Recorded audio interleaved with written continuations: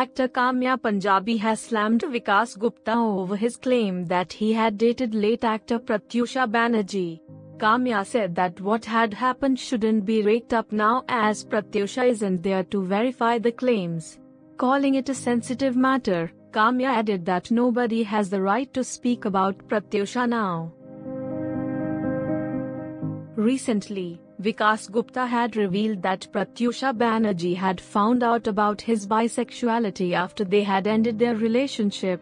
He had said that he dated two women who knew about his sexual orientation, adding that one of them was Pratyusha.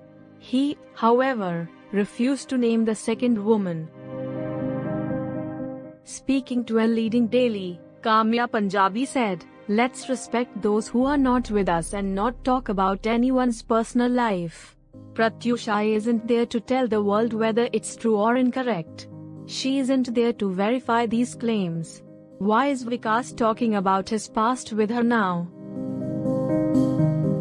Does he want fame? I don't appreciate it at all. I didn't read or watch the interview. I don't want to know if the truth or lies or praises were written about Pratyusha.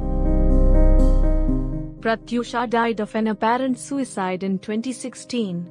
Her boyfriend Rahul Raj Singh was accused of abetment to suicide. Rahul was granted anticipatory bail by the Bombay High Court three months after the death of Pratyusha. News Desk